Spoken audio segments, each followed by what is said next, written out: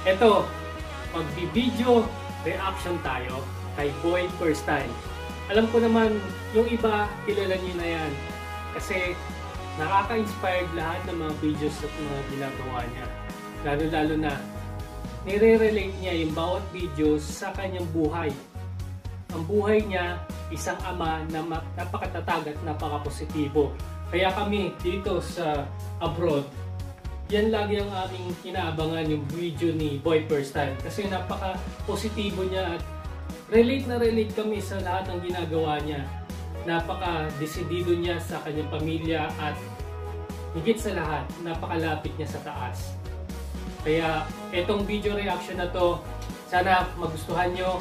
Pero disclaimer lang, disclaimer, hindi kami professional na nagre-react sa ba- bawat editing ni Boy First Time. ha. Magre-react kami sa kung ano yung nakikita namin at kung ano yung nararamdaman namin sa videos nito. Kaya, yun guys, sana magustuhan nyo ito.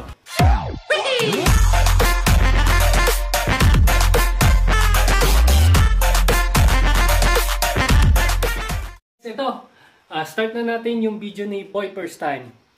paano, paano yung, yung mga tulad ninyo na hindi makapag hanap buhay kasi pinagbabawalan, men, Isipin mo na lang, para kang puno na walang bunga. Paano ka magbibigay ng pagkain sa tao? Ano makukuha sa'yo? Short, parang minsan parang naisip mo minsan na inutil ka, di ba?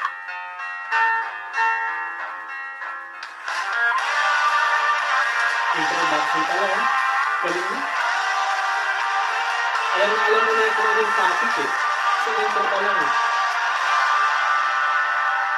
Intro pa lang nakakaano na.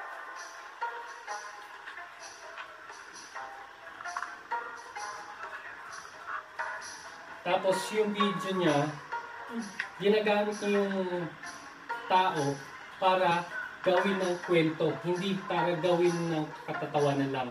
May side siya ng comedy, pero sa dulo, nabibigyan niya ng inspirasyon yung bawat nanonood. Yun ang gusto ko kay Boy Time. Okay, exercise oh. Sa Pilipinas, uso-uso yan, is Zumba. Sundo kaya? Oo, Zumba yun, di ba? Pero kay Boy First Time, kumakain siya habang nagsusumba.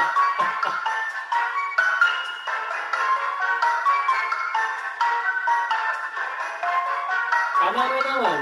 Magsumba ka, tapos sabi kumakain para at least hindi ka bubutuhin.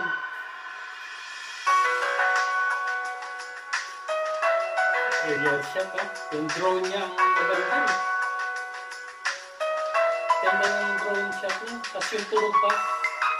May cinematic shot na music para doon sa bawat drone shot niya. Nakaka-relax.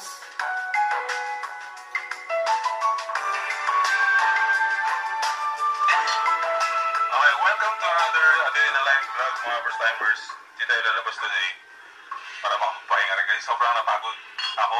Kami dun sa laro namin kahapon. Dun kila one day off. Sarap din talaga gano'n, no? Paminsan-minsan. Eh, maglalaro ko rin ng mga dating mga ano. Dating Pero hinihinaan ko lang, baka kasi sabog yung, Teka lang, yung meron, meron music. shoutout dito. Sino ba So ito nga, reaction tayo. Raw vlog to, wala tayong editing. Kaya makikita nyo kung ano ginagawa Papa na namin. lagi nag-shoutout. Tinatawag yun na Papa shoutout. Meron din ako. Si Nanay. Pananay shoutout. Bakit? Pananay. Panay shoutout. Panay shoutout. Tawagin siya na ang nanay ko na pananay shoutout. Shoutout po sa nanay ni Boy First Time. May Nakaka-inspire yung pamilya From niyo. Dubai. Ang galing Ah, yung magpalaki siya ng anak. kapitbahay namin ito ni si ate na tinuturuan ako ni nanay ko. Ayan, shoutout kay Kuya Genesis Tan Ligaspina ng Dubai. Ah, asawa to ni Ate Desi Lito, yung kapitbahay namin na nanonood sa akin araw-araw. Sir, mag-ingat ka dyan sa Dubai. Nood-nood lang, marami pa akong mga vlogs yun na pwede mo sagot sa mga kapagutan. Ingat palagi, sir. Dito, ano kami, nag nagsasali na kami ng mga ulam. Si Ate Desi nagdadala dito ng pagkain sa amin. Tapos kami, nagbibigay ba tayo pagkain na Meron daw. Tignan yung niluluto ng nanay ko. Nasa kwarto pa ako kanina, alam ko na, nangangamoy ano na eh, nangangamoy tanglad. So alam ko na kung anong ulam namin. Tinola. Sarap po, Ano yun, tinola. Tinulang manok with tanglad. Yung sa atin naman, tinola, nilalagyan natin ng Sprite. Yan, si Ate Diesel Para kahapon tumamis. na gano'n yan, tayo. Sa kanila may tanglad. Kasi dito sa abroad, sa Czech Republic, walang tanglad. Kaya Sprite na lang. Pampalasa. Pagkakasama kami, dito sila natulog kagabi. Ah, nag-request ako na dito muna sila matulog para at least kahit paano eh, may kasama din kami dito. Tsaka syempre, iba pa rin ang merong kausap, di ba? Kasi pag kami kami dito, napakatahimik namin. Patay lahat ng ilaw, walang tugtog. Tapos doon ako sa kwarto nagkukulong. Nakakabuang. Kaya dito si Master Try ngayon. Kasama natin siya sa vlog today para masaya. Buwang parang No? Kaya merong tinola dyan sa ano kasi may bisita. ang Pero pag kami kami lang, parang lang. naluloka. Naluloka ka. Bisaya. Oh, hindi ko alam eh. Parang sa Bicol din eh. Sa, sa part ng Bicol, buwang din ang tawag eh. Parang naluluka ka na sa isang pwesto. Parang nakasteady ka na sa isang pwesto na nabubuwang ka na doon na kung ang gagawin mo din, natapos mo na lahat. Ka muna sa mga first timers. Ang galing mo, click ng pusa, hanggang mo Mamaya mahalik sa tayo dito camera. ng ano, tennis. Mag-walling tayo dito. Kasi dito mga first timers, nasa na yung ano, racket. Meron tayong ditong racket. Past time lang natin mamaya. Maglalaro tayo, mag-walling tayo dyan. Naisip ko rin eh. Tsaka, ha? Ba't ang dami yan? Napakadami. Galing surplus yan? Bin- Binibenta yan? Patingin ako. Lalo, Kawasaki. Gaganda niya na. Hoy, bibili ako. Kasi mag-withdraw pa ako. Wala nang laman yung wallet. Naubos na. Naubos na. Pati laman ang idiom. Galing talaga ng Boy Person. Talagang may papasok pa yung comedy eh. pwede tayo maglaro sa Capitol minsan eh. Ah, sa complex pala, sa complex. Wala, ano ba gusto mong brand? Kawasaki. Baka pala yung motor ko. Nakakasabi ka na. Lagi nakahubad si Rakrap. Kailangan Pero galing ni Rakrap ah. Simple lang, simple lang si Rakrap. Kaya nakahubad kasi napakalamit sa Pilipinas. Kaya lahat ng basher dyan, lahat ng basher ni Rakrap, naguhubad dyan kasi mainit sa Pilipinas. Yun ang natural sa niya Pilipinas. Paano niya naisip na? Tagal ko na dito pero hindi ko naisip na pwede pa maglaro dito. May bola ka dyan. Bola mo ba yung pinahiram ka sa kanya kanina? Nilalaro niya? Ayun. Kasi, Dati no, hindi pa alam mga first timers. Kami dalawa ni Master Trike nung pero high hindi school kami. Lawn tennis player kami. Hindi ko masabayan yung bola. Ang init talaga. Naglalaro talaga kami dati. Magaling ng lang naglalaro niya. Siyempre, pag intramurals, eh, naglalaro kami. Kaso nga lang, si Genesis, na nanalo yan. Sporty rin sporty si Boy Person. O, diba? O, laran niya si Boy Person eh. Ha? Director na, editor pa, sporty man pa, family man pa.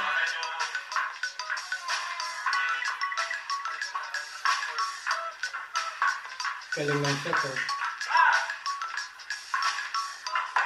Parang ganahan yung kayo. Yun nga ang pangarap ko, ay ganyan garahe oh.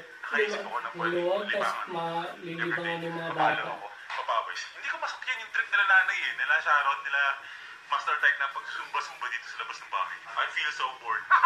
Hindi ano, kasi wala, nakalungkot ko. Ito dati yung gamit ko. Meron ko dalawang dati, dalawang racket. Yung isa kasi, hiniram, hindi ko na alam kung saan. Nabili ko pa to sa Dagupan. Grinag ko pa to ng parang tatlong oras bro para mabili tong racket na to. Ay, Layo. Layo ah. At ah, update nga pala sa pusa kong si Sandy.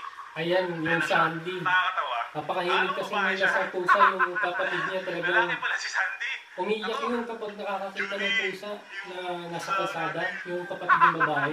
Napanood ko yung last video niya. Nandun sila sa Lucena, nakakita sila ng parang marketing na nasa gilid ng, ng kalsada. Umiiyak siya kasi iniwanan nila na Meron sa likod niya. Parang pala, tinapon lang yung mga pusa. May itlog kasi. Sandy pa rin ang pangalan. Kaya Sandy ang pangalan niya ng lalaking to. Lalaki Dahil- pala. Dahil sa salitang sun. Pawis na pawis ako. Exercise na to. O, shoutout mo. Kasi na-miss ka ng mga first timers. Ngayon ka lang ulit nagpapakita sa mga ko. May nagpapashoutout eh. Yung mga Trivia pa yung Sandy, sa. Tapala. Tapos kay Daryl. Kay Daryl na bet na bet. Kasi si Master simple lang Lexi? Pero positibo eh. Lexi. Ano ibig sabihin ng Lexi? Ah, usapang ano yan? Okay. Kahit anong problema, tinatatawanan. Ito, yan. Kainin na. Today, for us. Sarap naman. Men, kaya na men. Doon ko yung tinola. Oo, oh, dapat pala, tinula na lang. Ngayon, boy, first time, nagluluto kami manok. Dapat pala, tinula, nagtunula kami. Sagana tayo-tayo lang, dil-dil-dil lang, pag may bisita, sarap ulam.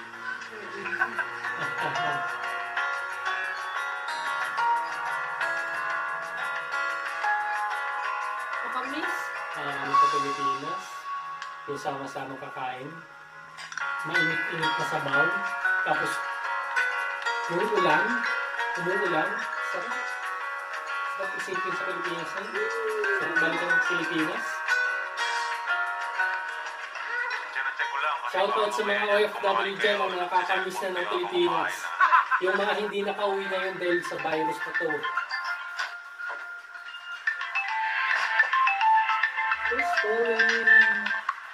Pumapag-ibig si Boy you.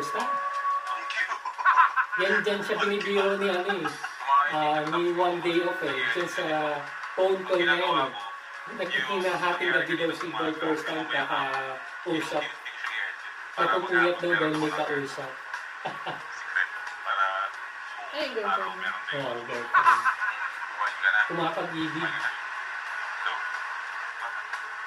So, Talagang wala. Fan na fan mo ah. Ah, syempre. Pinapanood, pinapanood ko yan dahil yan lang ang detail ko. Life ni yung first time sa'yo? Oo, ganun talaga. Solid, solid by first time. Kasi ang galing niya.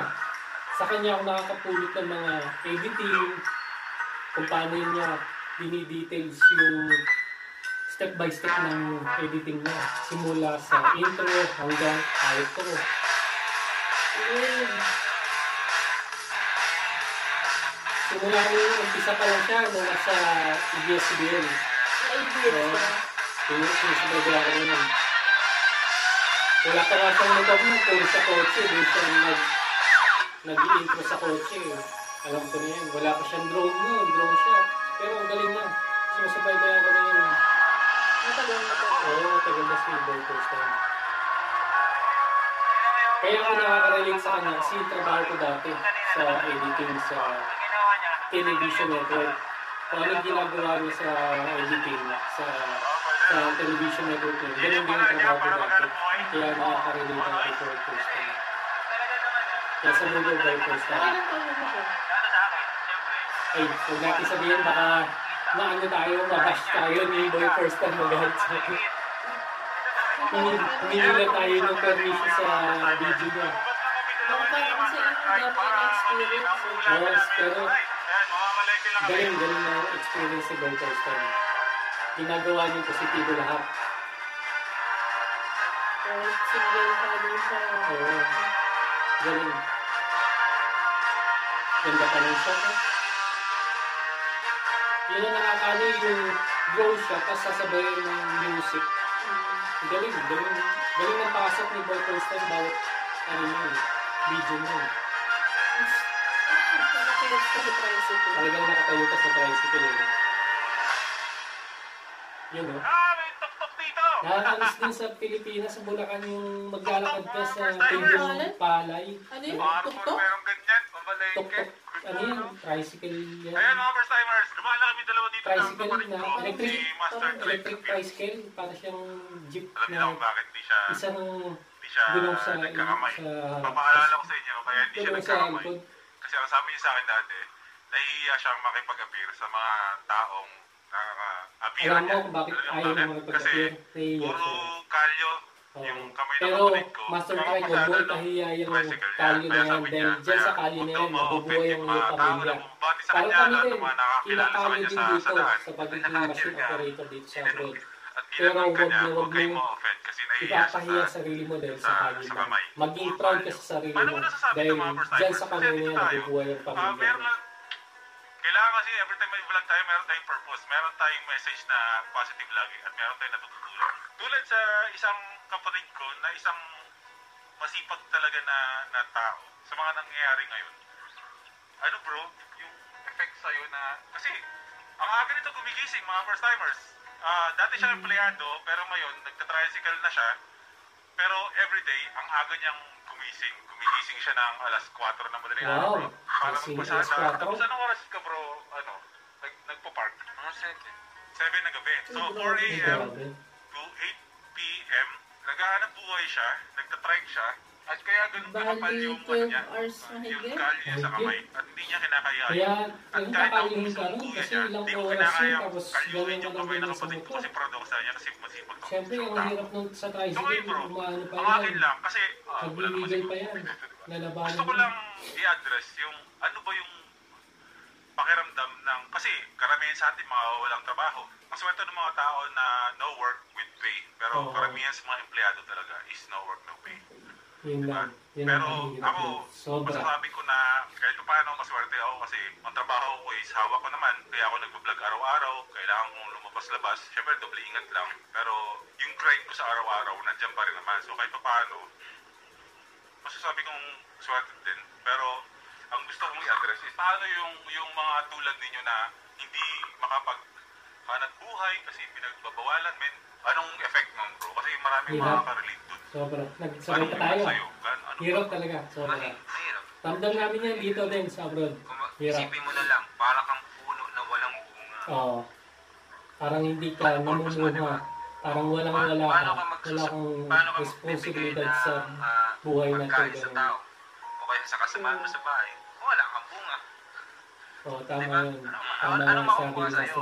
Isa kang puno na walang bunga. Hmm. Parang hindi ka nab- nabubunga tapos walang nakakain nasa paligid sa iyo sa iyo. wala akong Masakit, masakit. Ano yung effect Sa sitwasyon pang-araw-araw natin. ninyo na ganito? Na dapat kasi kumikita, maayos ka naman kumita. Ito, hirap. Siyempre, yun. Kagaya niya, parang ang lakas. Eh, may, may minsan sabihin, eh, paano ba gagawin mo kung wala kang, ano, ganyan, wala kang pagkukuhanan ng pagkakitaan. Hindi kagaya ng iba, siyempre yung iba, titina ng isda, gulay. Katulad nung kinikwento mo kanina na mga kasama Diba, galing, di ba? Madiskarte pa rin, kaso lang, kasi kayang gawin yung ganun. Kasi wala naman akong pampuhunan na ganun para sa ganun. Siyempre, hindi lahat kasi mal- malakas ang loob. Oo, oh, sugal kasi yun. Sabihin na natin, kikita ka na ganun pa rin, normal pa rin. Eh, paano kung ma- biglang yung bumili sa'yo, positive? Oo. Ah, di ba? Isang, isang sabit lang sa'yo, nadadamay ka na. Pag uwi mo, kasama mo mga anak mo. Yun nga, mahirap. Parang hindi mo alam yung kalaban mo. Kung nasaan yung kalaban mo, katabi mo mo na ba or parating na ba yung kalaban mo, hindi mo pa alam na magagapuan ka na pala. Ganun. Kasi ng bullshit na ano yan, corona. marami talaga. Mas Cross road.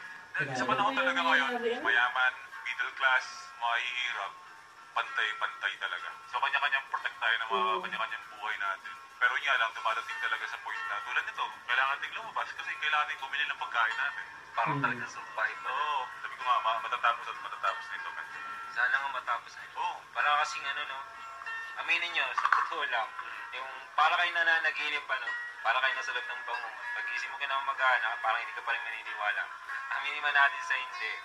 Ganon yung pakiramdam mo. Pag-isip mo ng umaga, yung pakiramdam mo, dapat mga masada ka, kagaya ko, papasok ka sa trabaho, na kagaya mo. Mm. Pero, hindi pwede kasi meron virus. Parang bangungot. Oo. Sana magising na. Parang ganon ba? Oo, ang pwede lang natin talaga gawin is ingatan yung mga sarili natin para sa mga pamilya natin. Let's hope lang uh, manalig yung faith natin na lahat ng matatapos. Magiging Kaya ganun mga first timers, alam ko marami ang pinanghihinaan talaga ng loob, marami ang Sobra. nervous, Sobra, sobra. marami Lahat- ang susumpo ang anxiety, Di ba? Lahat marami na depress sa mga pagkakataon na to pero sabi nga kung saan ang panahon na nanghihina ka at nawawalan ka ng pag-asa dapat dun ka lalapit Ay, kailangan maging mas matatag. maging mas matatag Imbis na panghinaan ka. Lumabang ka. Kahit ba Oo. mahirap ka. Wala kang pera. Laban lang. At least buhay ka. Swerte mo, buhay ka. Oo, Kaysa kaya nasa ilalim tama. ka ng lupa. Lumaban ka lang. Oh, mas Talagang tayo kasi mo, buhay trabaho tayo mo. ka. At least may Magtrabaho pag-asa ka rin, kinabukasan lumaban. eh. Positibo. Hindi nasa ilalim ka ng lupa, wala ka na. Oo, tama. Patuloy lang tayong manalig at Oo. mag, huwag mawawala ng pag-asa Kapit mo lang. matatapos Yun na lang talaga. okay Ang mga first ang timers pag-asa. magtiwala lang at manalangin lang tayo palagi Oo. Yung itaas lang talaga ang binigay sa atin. Na kami ng ng Spend positibong time buhay. with your family. Lubos-lubusin na natin. See you tomorrow, mga first timer. Galing, ah. galing ang outro talaga ni Boy First Time. Wow! Wow, ganda ng music. Galing. Bakit ba bumabalagid ang mundong iyong ginagalawan? Ang buhay ay sadyang ganyan. Ganda. Iba talaga yung ano. Yung drone shot niya yung galing eh. Nakuha talaga yung araw. Tapos yung music, ganda pa.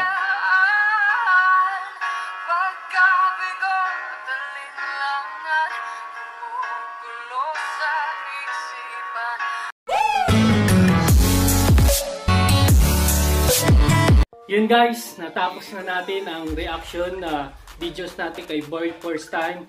Naway ah, may natutunan din kayo sa videos na to kay Boy First Time dahil napaka-positibo at ah, ang daming na nating natutunan sa bawat videos niya na kahit na napaka-negatibo na na nangyayari sa buhay na to, sa buong mundo. Tapos ah, binibigyan pa rin niya ng ah, liwanag, yung positibong reaction yung, yung nangyayari ngayon sa buhay na to. So, ang galing, galing ni Boy Time. Ang galing din ng mga kwento niya at ginagawa niya ng paraan yung yung negatibo inilalagay niya sa may aral na sitwasyon na hindi ka ma, hindi ka tatabunan ng puro pait sa sa puso mo. Pero dudurugin yung puso mo na maging positibo parang lumaban ka. So yun guys salamat sa panonood nyo at naway magkita-kita tayo ulit sa susunod naming mga videos sa Pamilya Torres so thank you Bye.